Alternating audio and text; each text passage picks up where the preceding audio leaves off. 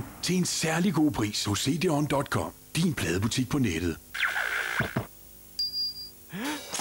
Filmstjernerne Mike og Solly er taget på jagt efter de sjove figurer fra Disney Pixars nye film Monsters Inc.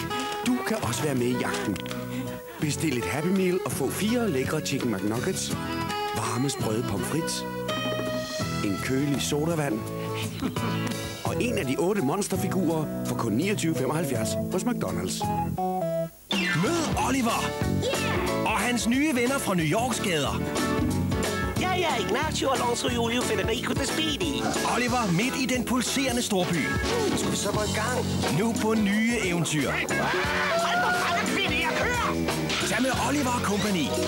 Du skulle selv prøve at holde øje, mens du bliver klassiker Oliver Company. Nu på VHS og Disney DVD. Lad op til filmen. Fra skaberne af Toy Story og Walt Disney Pictures Pixar kommer nu Monsters Inc.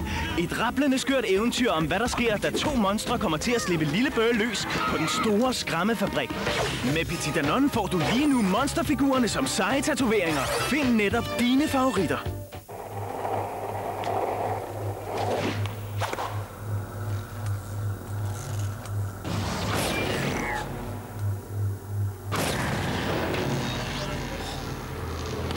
Velkommen til Dronen, den ultimative raceoplevelse. Gennem jungle, ørken, lynhurtige baner og bjerge. Droneracer kører søs.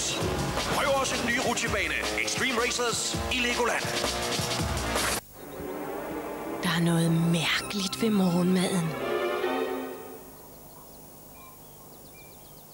De små uhyre fra Disney og Pixar's Monsters Incorporated er sluppet ud af dit skab. Boo! Samle alle seks sjove, bevægelige monsterpostkort. De gemmer sig i Nesquik-pakkerne fra Nestlé. Find dem, før de finder dig. Når din far er bedemand, din mor er i himlen, og din bedstemor har en skrue løs, It's quarter to three. er det rart at have en god ven. I always surround myself with people who I find intellectually stimulating. Også selvom han er en dreng. Have you ever kissed anyone? No. Close your eyes. Better not tell anyone.